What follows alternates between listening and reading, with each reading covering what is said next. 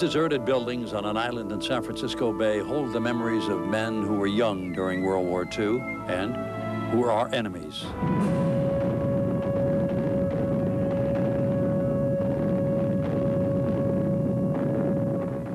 They were prisoners here, Japanese sailors whose submarines were sunk in the Solomon Islands. German soldiers captured in Egypt.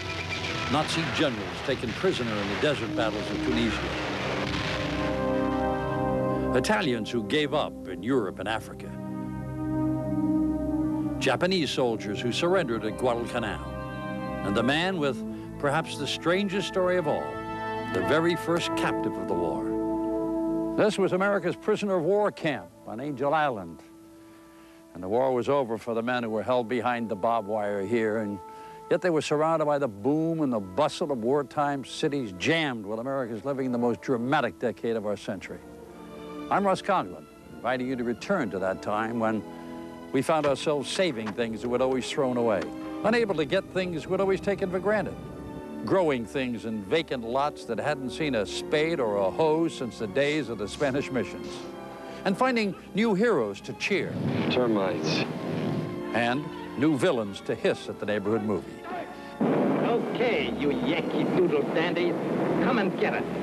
A time when we were part of wartime's darkest secret and celebrated history's greatest victory.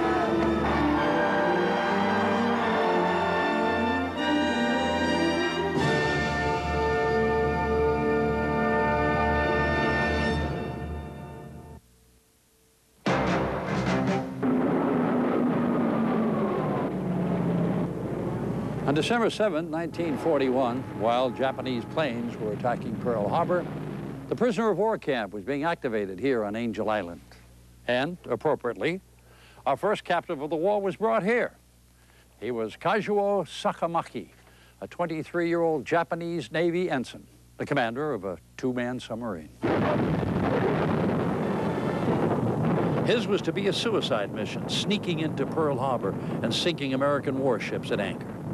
Sakamaki says that he imagined a glorious and heroic death. But he missed the harbor entrance, repeatedly rammed his sub into a coral reef, eventually got lost, and finally tried to scuttle his craft. And unconscious, Sakamaki was washed up on a beach outside Honolulu. So was his midget submarine. The Army sergeant who captured him was a Japanese American. And that's how Kazuo Sakamaki came to be here as America's first combat prisoner of war. It'd be a long time before any of his fellow countrymen would follow him because for much of that first wartime year, we were losing in the Pacific. Troops were pouring across the embarkation docks, headed for island destinations we had never heard of.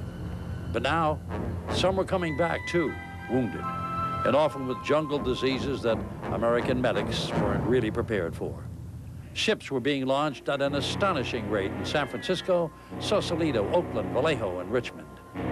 It was not unusual for one ship to still be sliding down the ways while the keel for the next one was being swung into place.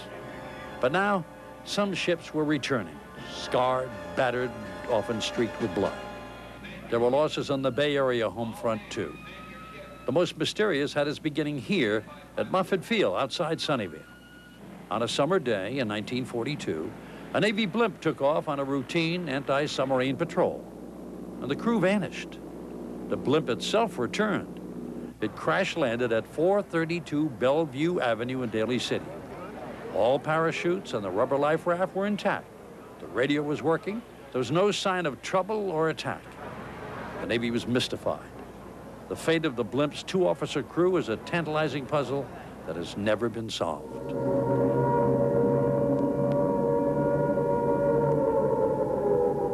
Air raid drills were a familiar part of civilian life all along the coast. Every home was supposed to have blackout curtains, as well as a bucket of sand to take care of incendiaries. Well, some people took all of this a bit more seriously than others. Menlo Park, California. Mr. Frank Terramore shows the absolute ultimate in home air raid precautions. Special blackout shutters. Complete first aid equipment, of course, and a one-man and one-boy fire brigade.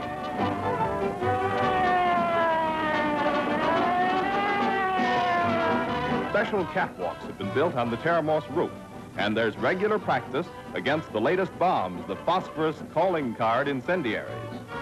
And let the whole Axis know, Mr. Terramorse is prepared to blitz the blitz. The only Japanese bombs to actually land on the American mainland during the war were floated across the ocean from Japan on balloons.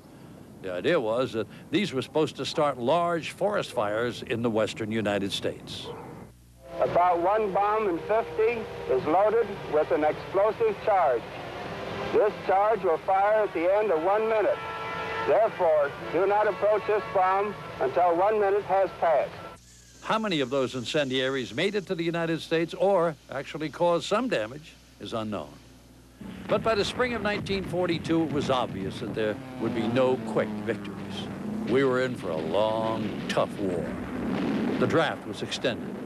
Men from 45 to 65 years old were signed up, not for combat, but for home front conscription if need be. By fall, we were running out of things too.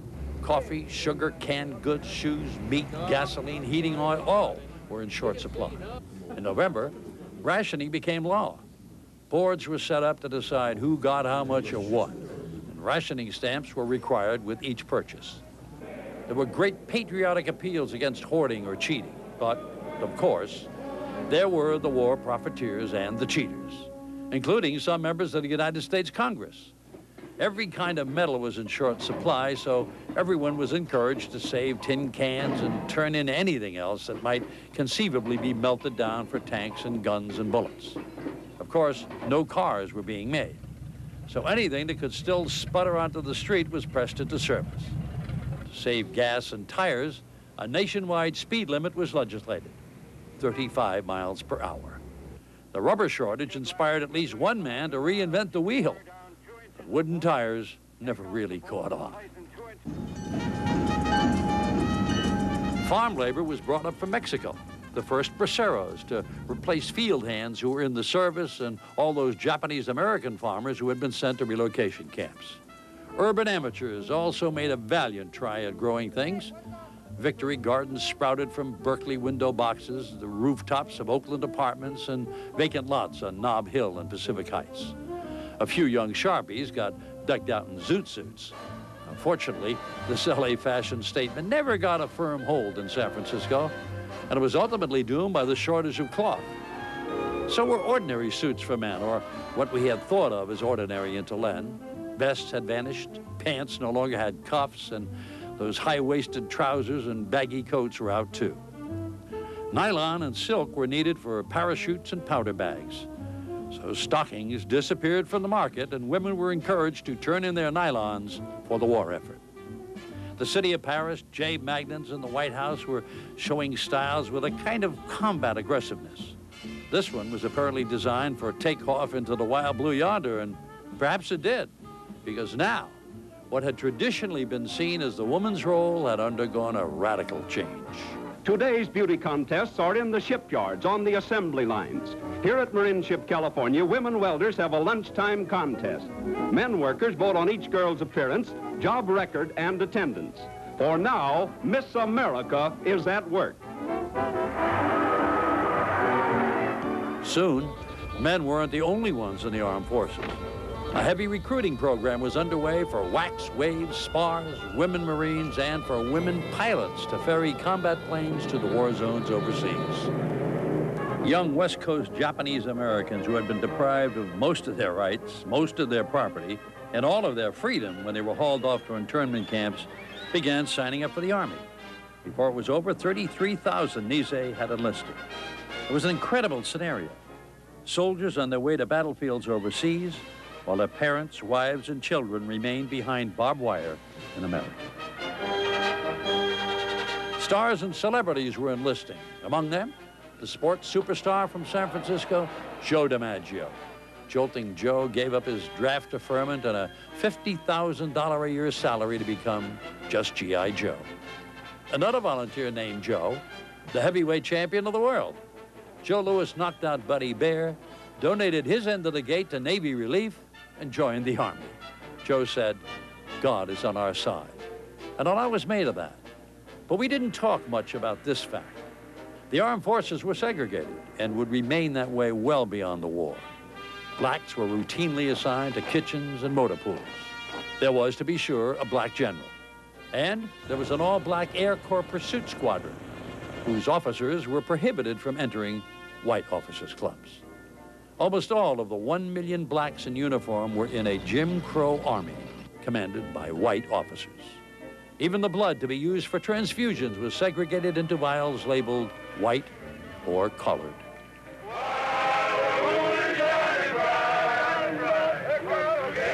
Before the war was a year old, wartime industry was bringing a new kind of social experience to both blacks and whites here in the Bay Area.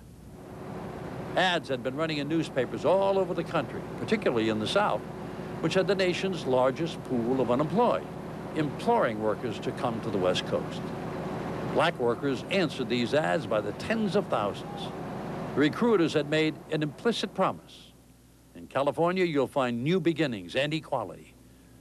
That wasn't a promise that would be fully kept. But for most, life was better here than it was there. Now, many settled adjacent to San Francisco shipyards at Hunters Point in, well, what was supposed to be temporary housing. And others went to Oakland, Vallejo, Richmond, the newly built Marin City, and a section of San Francisco that was known as the Fillmore.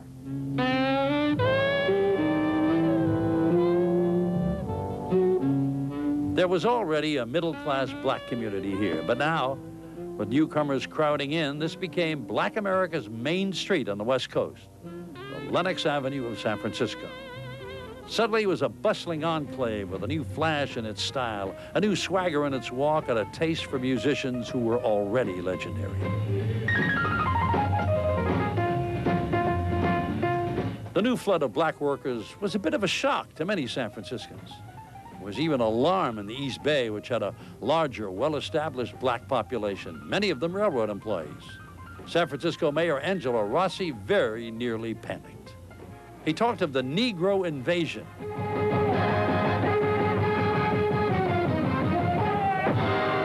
But cooler heads, both white and black, prevailed.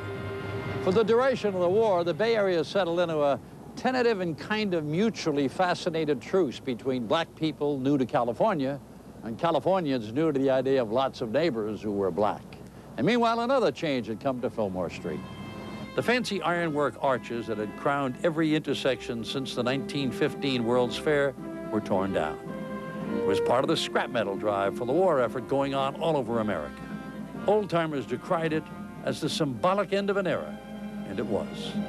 But they also conceded that if the Smithsonian Institution could contribute its entire collection of guns and tanks from World War I, then the arches over Fillmore Street were a small sacrifice indeed.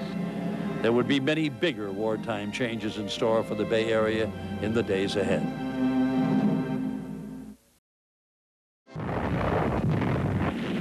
Summer 1942. Suddenly, the tide of battle turned in favor of the Allies.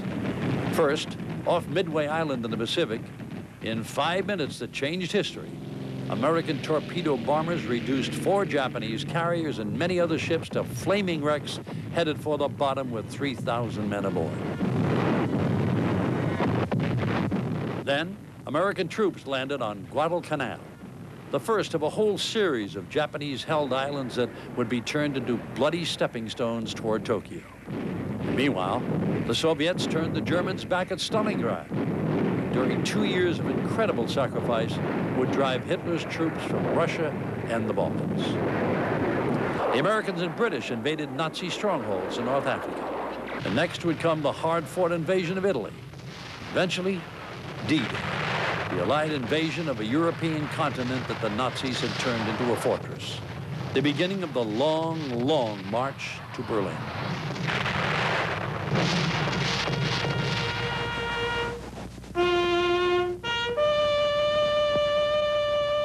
You didn't see scenes like this in the newsreels.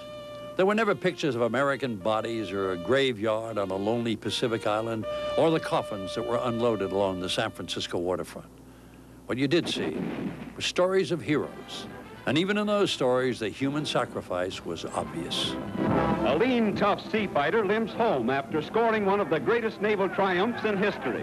Wearing proud scars, the U.S. cruiser San Francisco noses to her base. Off the Solomon, she crushed a Jap battleship and two cruisers in an epic sea fight. And now honors. San Francisco's Mayor Rossi greets the brave crew. All America salutes these officers and men who wrote history in the waters of the Pacific. We get plenty of fictional heroes, too. And they're almost as popular as the villains that we love to hate at the neighborhood movie. Hollywood sent us an endless array of heroic fighting men. Handsome, lovable, reckless, resolute, clear-eyed, and naturally chock full of red, white, and blue-blooded American bravery. Their Nazi adversaries, on the other hand, were brutal, strutting braggarts. They spent a lot of time slapping around helpless people and talking about the master race. These Hollywood Huns did have one advantage over their Japanese counterparts, however. They could also be ridiculous. Heil Hitler! Heil Hitler! Heil Hitler! Heil Hitler! Heil myself. Japanese villains were never funny. They were uniformly sly and evil, thinking of bestial tortures and ingenious new schemes for world domination. But they did help with minority hiring. Every one of those villainous roles was actually played by a Chinese American. We will win this war because we are willing to sacrifice 10 million lives. The Market Street movie palaces ran day and night. For your 45 cents, you got a movie, a cartoon, a newsreel, and a full stage show, often starring one of the big swing bands.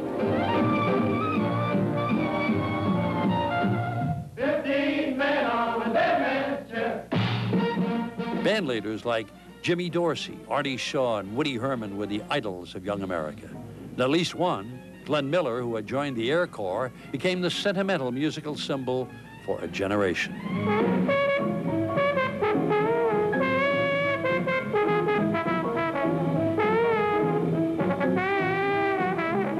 New York, LA, and San Francisco each had a stage door canteen, and that was a place where ordinary GIs could mix with famous stars. And ours was here on Mason Street. All kinds of performers, from classical sopranos at the Opera House to Shakespearean actors working the legit theaters of Geary Street to song and dance men like Ray Bolger came to entertain the troops. Of course, there was always a band, often one as famous as Benny Goodman's, with that young singer he was featuring, Peggy Lee. Get out of here and get me some money too. Since at least the Spanish-American War, San Francisco had been known as one of the world's great liberty towns. But now it was being stretched beyond the limits. The big YMCA on the Embarcadero was jammed every night, and so was every other Y, USO, and public facility in the whole area. Servicemen spent the night in luxury hotels, the Mark, the St. Francis, the Drake, the Fairmont, the Palace, not in rooms, but on lobby couches. We had run out of space. By now, not only had this become the world's greatest shipbuilding complex, it was among America's most crucial cargo ports. At one point, more military supplies cleared the Golden Gate than all other United States ports combined. Moving cargo at that volume, constructing ships at that speed, and with many inexperienced people on the job, there would be the inevitable accidents.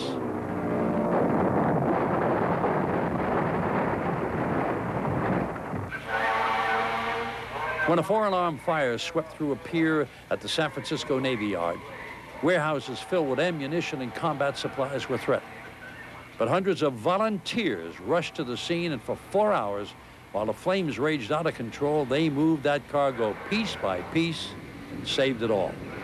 The only casualties were from smoke inhalation, no fatalities. But 30 miles north, in the town of Port Chicago, a summer night in 1944 turned into a nightmare. The Bay Area's greatest single home front tragedy of the war. The explosion of two munition ships in San Francisco Bay shocks the world. The earth-shaking explosion happened at night, killing 321 persons. Amazingly enough, bombs still rest in an ammunition train near the dock. Huge pieces of jagged metal were blown for miles. In the town of Port Chicago, not one building left undamaged. The strange and terrifying explosion, which injured at least a thousand, will probably never be solved, for only small pieces of the ships remain. The shipyards were now adapting ships to be turned over to China. which had never really had a merchant marine before. The Bay Area, of course, had a closer kinship with China than did any other region of America. Every family in San Francisco's Chinatown had relatives and friends who had fallen victim to the Japanese war machine in Asia. Nationalist leader Chiang Kai-shek was a powerful symbol here. But it was his bright and glamorous wife, Madame Chiang, who made the greatest impression on the city, and then on the nation. Meanwhile, at Stanford and here at UC Berkeley, new kinds of training programs were underway. Administrators were being prepared for running the military governments of occupied countries, and there were some facts to justify that kind of optimism. American, British, and Canadian forces had fought right up to one border of the Nazi fatherland, while the Russians were driving hard toward the other, taking thousands of German prisoners as they went. In the Pacific, we had taken Saipan, Tinian, and Guam. Then came the fierce battles of the Philippines the blood-soaked invasion of Iwo Jima with its mid-battle flag raising, the most famous combat photo of all time, taken by a San Francisco photographer, Joe Rosenthal. Early in 1945, MacArthur made good his pledge to return to the Philippines. After vicious street-by-street, block-by-block fighting virtually leveled the capital, Manila was free.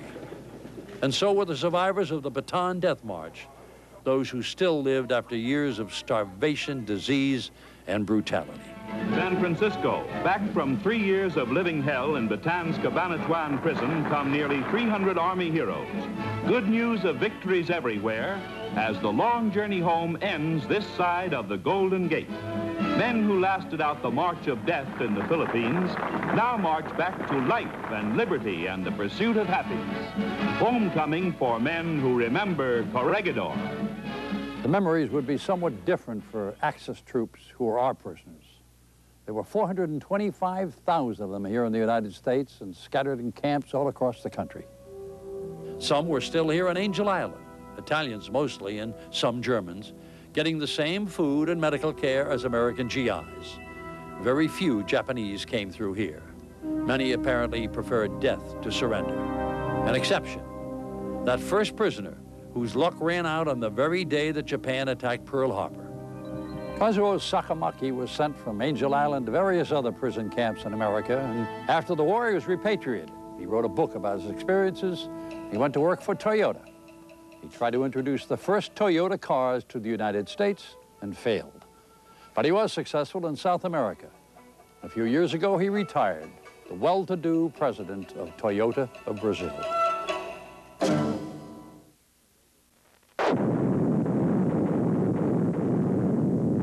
Early spring of 1945, we were on the very edge of victory in Europe. But along the way, we would lose the man who had been the symbol of our wartime purpose. We are going to win this war, and we are going to win the peace that follows. It was April 1945, Friday the 13th. If Franklin Roosevelt had lived just another 12 days, he would have seen his fondest vision move toward reality in San Francisco. San Francisco, stage for the grand opening of the United Nations Conference. And from the skyways of the world come the delegates of 46 countries, traveling across the world that, together, they may find the road to international justice. This was Roosevelt's dream, proposed at an Atlantic Charter meeting five years before. In late April of 1945, with the world still at war, it was happening. The eyes of all mankind focus on San Francisco, scene of one of the most significant and decisive meetings in human history. From 47 United Nations come the men and women who carry with them the hope of the world's two billion people for lasting peace. Not since the first wild days of the gold rush, and perhaps never again in history, would there be such intense worldwide interest centered on this city. And behind the scenes, over 1,000 of the world's best reporters. Almost a million words flow daily out of San Francisco. Through press, screen, and radio, the people of nearly every land will be told more about this meeting than any other event that has ever transpired. The world awaits the discussion, the amendments, and compromises of San Francisco. Here, truth, cooperation, and understanding can build a mighty structure, a golden gate to lasting peace. If human actions have not quite lived up to the United Nations humanitarian ideal, it was not for a lack of noble thoughts, brave words, and the great hopes were expressed here by the Golden Gate that spring. With the signing of the UN Charter in San Francisco that June by 50 nations, the International Forum became a reality. Well before that, while the delegates were still gathering in San Francisco, great historic events were happening with lightning speed in Europe. Look at what happened within a two-week period. April 25th, Russian and American troops meet up at the Elbe River, cutting German forces in half. April 28th, Mussolini tries to sneak out of Italy. He is caught and killed by Italian partisans. April 29th, Russian troops fight house to house toward the center of Berlin, and American and British bombers continue pounding the city from the air. April 30th, Hitler and his mistress, Eva Braun, commit suicide. May 2nd, the city of Berlin gives up. May 7th, the Germans surrender. The war in Europe is over. In May of 1945, the new order, which was to have lasted for a thousand years, vanished from living history.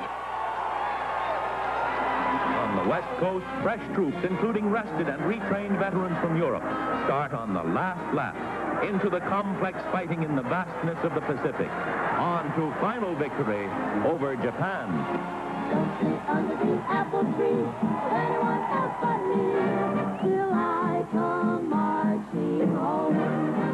Before they could come marching home, a lot more blood would flow and much of it would be American. We weren't saying it. We certainly weren't singing it, but we were thinking it in May of 1945. By now, most Japanese generals and admirals knew their war was lost. But Japan was still in the grip of military fanatics to whom death was a reasonable alternative to defeat. We knew that any landing on the Japanese islands would be met by human waves of sacrificial troops. It appeared that even greater bloodshed lay ahead, and we dreaded it, the invasion of Japan. But a super-secret project had long been underway. And inside this closely guarded building in Berkeley, the atom had been split. Uranium-235 was produced.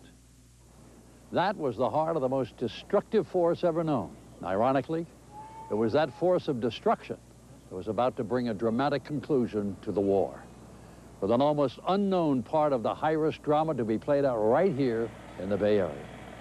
Three weeks before Pearl Harbor, construction of the cyclotron had been given A1A priority by the government. The reason was put under deep cover the cyclotron's inventor, young Professor Ernest O. Lawrence, had a theory that one product could be explosive energy from uranium. He had a brilliant team of youthful scientists working out of the UC Radiation Laboratory.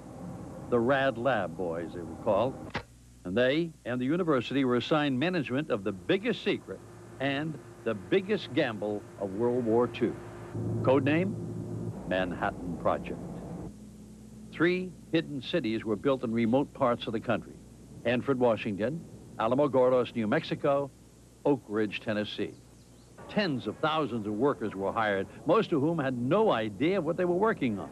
And even some managers were skeptical. Tremendous quantities of materials were going into the plants and nothing was coming out. They didn't know that they were in a desperate race with the Nazis who were also on the way to developing uranium fission. They had a big head start. With Germany's defeat, America won that one. But the invasion of Japan was still a looming reality.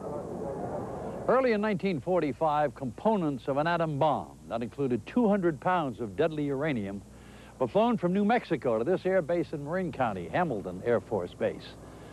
The scientists who made it weren't even sure what it would take to set it off. There hadn't been any atomic testing yet.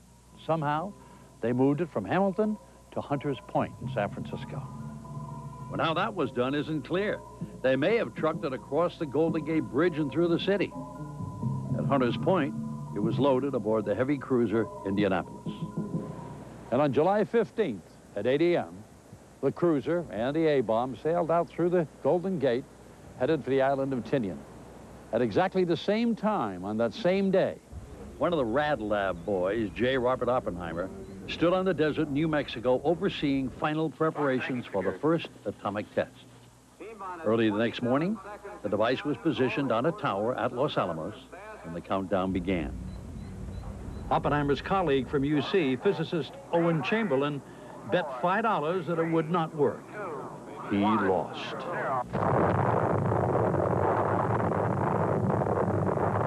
President Truman, meeting at Potsdam with Churchill and Stalin, was advised of the successful test. He told our allies, and an immediate broadcast was made to Japan. It called for unconditional surrender and warned that we were armed with a weapon of devastating power. There was no answer. Two and a half weeks later, American planes showered Hiroshima with leaflets. Your city will be obliterated unless your government surrendered, it said. Still, no answer. Two days later, President Truman sent word to Tinian Island. Drop it. The bomb was loaded aboard a B-29 and the navigator set a course for Hiroshima.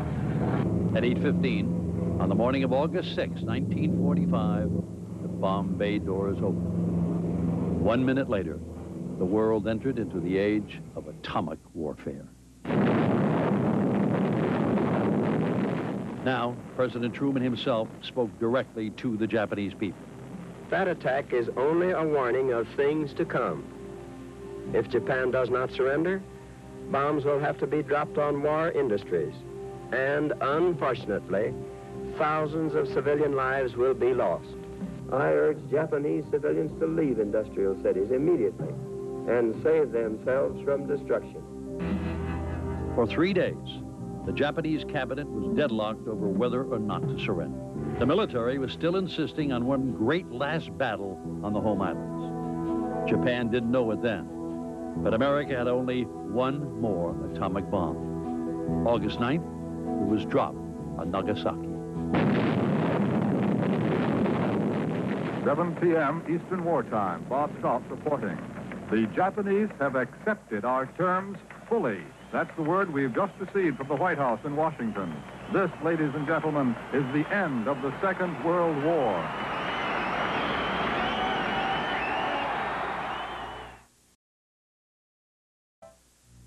This is it. The Second World War, which embroiled 56 nations and 85 million men, is ended. San Francisco, blacked out and constantly alerted against Jap treachery, uncorks the pent-up emotions of almost four years. Market Street is a madhouse, but who cares on VJ Day?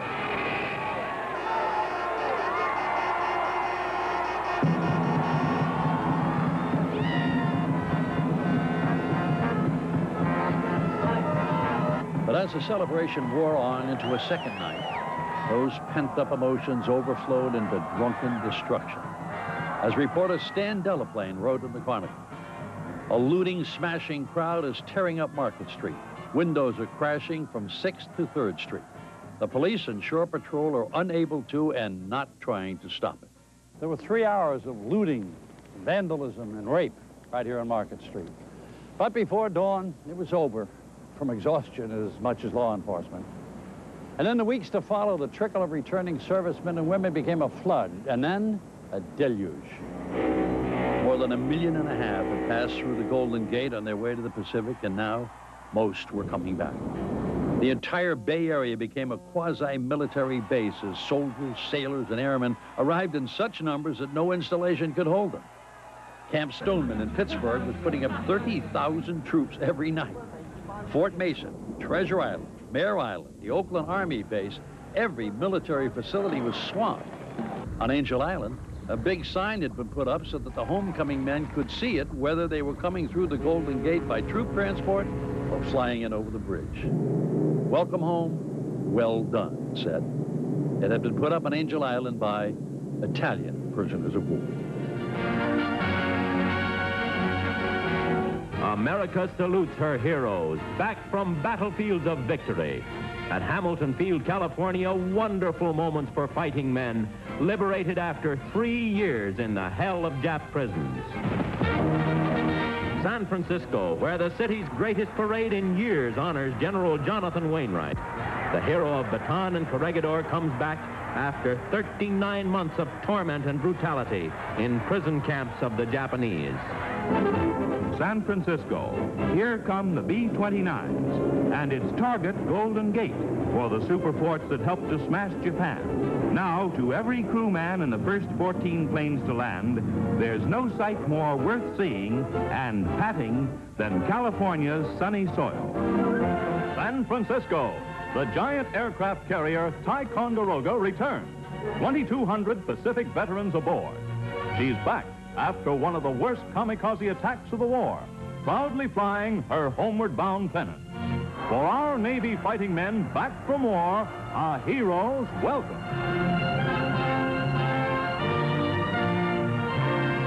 The Golden Gate, symbol of America for every Pacific fighting man. And aboard the South Dakota comes the governor of California to welcome Admiral Bull Halsey. And as his fleet comes in, fog makes the ships only a dim outline, to thousands lining the harbor's piers and famous bridge.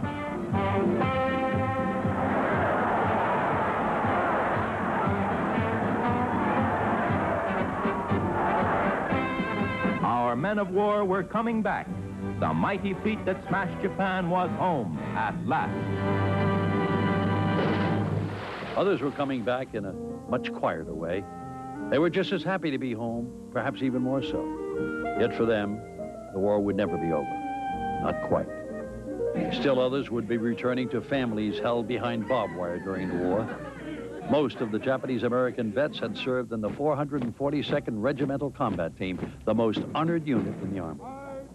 They took 10,000 casualties in Italy and France, and between them, won 3,000 Purple Hearts. They were famous for that record, but here's a fact that's seldom mentioned. Another 16,000 Nisei troops served in the South Pacific. Most of them were with military intelligence, intercepting radio messages, translating captured documents, and sometimes working behind the enemy lines.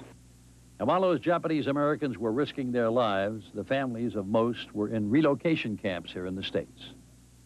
The last evacuees left the camp at Manzanar late in 1945. The Tule Lake Center closed in March of 1946. Few of those who were held in the camps ever returned to their former homes. Some of the returning GIs were bringing new wives with them, and others had sent their overseas brides on ahead. I came to stay with my husband's folks, and I know I'm just going to love my mother-in-law, I hope. I don't know what to say. I waited for this for so long, and now we're together. Boy, oh boy, now I know the war's over. That's what you think. But most were returning to the girl they left behind.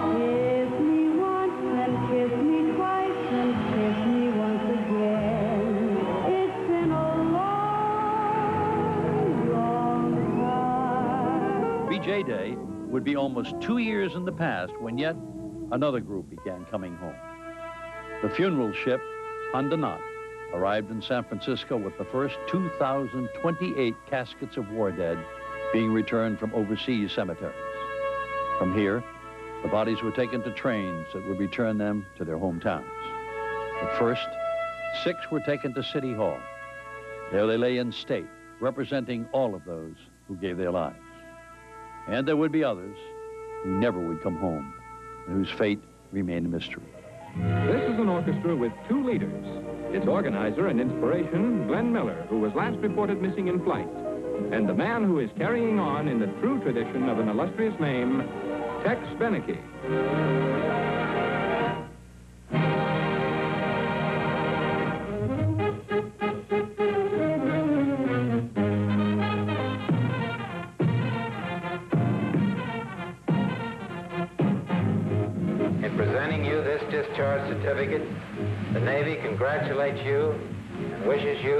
Godspeed. After three or four years in Navy, blue, or in khaki, both the servicemen and the servicewomen were ready to get into anything as long as it didn't resemble a uniform. And of course, some, like Staff Sergeant Marvin Phillips of Sacramento, could make that transition a bit quicker. He had his own haberdashery, which his wife had been running while he was serving in the 12th Air Force in the Pacific. For men, wild plaids and patterns were in. And for women, it was a return to those nylons that had been rationed all during the war years and then dropping the hemline so that their legs were mostly a memory. The fashion designers called it the new look. Meanwhile, the trendsetters were bringing their hair out from under years of defense plant hard hats and kerchiefs. Of course, some of the new styles became only passing fads. And a lot of the new inventions hardly get off the ground at all, and maybe that was just as well. But we were still filled with a post-war enthusiasm for the brave new world we were pretty sure was just waiting out there for us. We could hardly wait to dive into. Some successes and some failures as our remembrance of war continues.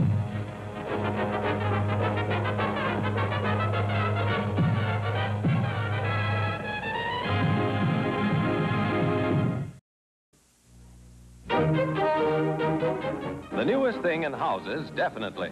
It's round, it's built of aluminum and plastics. Instead of a foundation, this cornerless cottage is suspended from a central mast of stainless steel.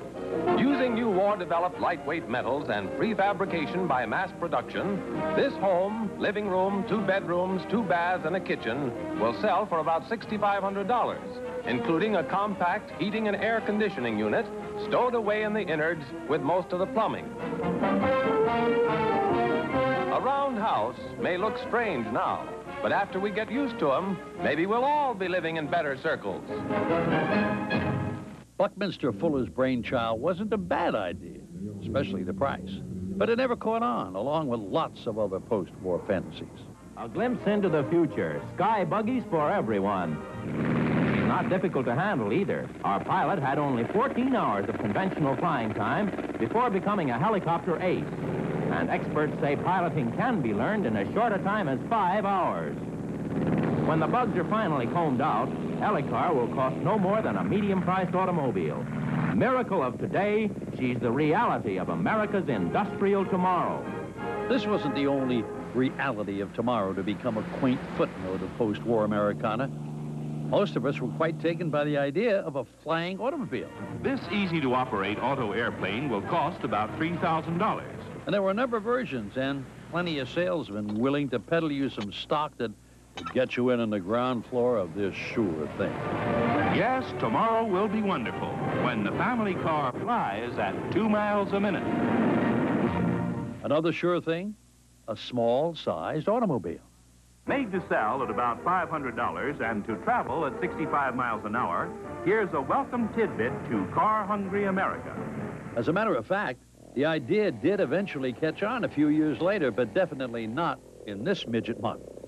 And who would have guessed in 1946 that when Americans did start getting into small cars, they would be sold to us by our recent enemies, Germany and Japan. And despite all those futuristic predictions, our post-war wheels were completely earthbound and not radically different from what we'd driven in 1941. But wartime technology did bring some changes, for better or worse.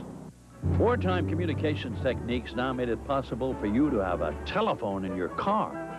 At first, there weren't many takers, and skeptics in 1946 said that a car phone would never catch on. The San Francisco Seals had a new transparent backstop, the first anywhere, and apparently the last.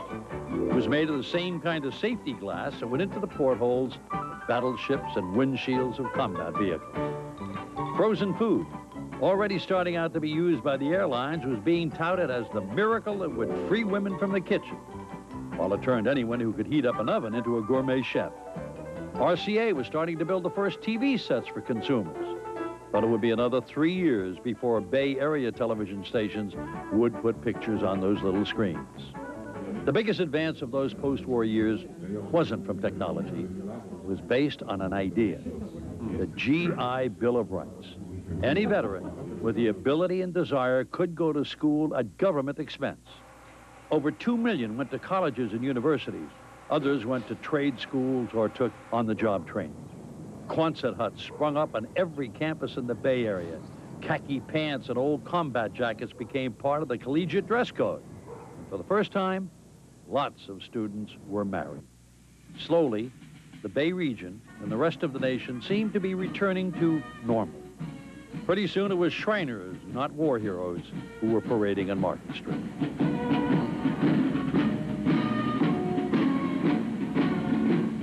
Well, some of the old troubles were back too. big telephone strike in San Francisco and a general strike in Oakland. Labor disputes that turned nasty in the streets. In the middle of San Francisco Bay, a huge fire destroyed not only many of the barracks at the Navy station, but almost all of what remained from the fair on Treasure Island. Had it really been only six years since the fair closed in 1940? Now, that seems so long ago. Another era, another life. And meanwhile, the implements of wartime America were being scrapped or put in storage. Thousands of barges and landing craft were hauled to Golden Gate Fields in Albany, awaiting the scrapping. The Navy shipyard at Mare Island was no longer launching submarines, but putting them in mothballs. And just up the bay, hundreds of Liberty ships and Victory ships were being towed into permanent anchorage. The big coastal defense guns that had made this the Gibraltar of the Pacific were removed and melted down. The emplacements were turned to parkland or let go to weeds, or preserved as historical sites. Old Fort Point, under Golden Gate Bridge, had housed a battery of searchlights and rapid-firing cannon installation. There was just one wartime casualty here. A soldier was walking across the courtyard when he was knocked flat by a glove dropped by a painter up on the bridge 250 feet above. Well, the Bay Area, like the rest of mainland America, had come through unscathed by enemy attack. And yet, there were occasional reminders of just how lucky we were. On June 10, 1946, a Japanese torpedo and its lethal warhead washed ashore alongside the Golden Gate Bridge. The Navy determined that it had been fired early in the war and had missed its target. That target, said the experts, was undoubtedly the south pier of the bridge. Now it's been almost a half a century since bombs fell on Pearl Harbor and propelled us into World War II. Today, there are more of us who don't have a remembrance of that war than those who do. And there is perhaps some importance in passing on that knowledge. This series has been presented in that spirit. I'm Russ Coughlin.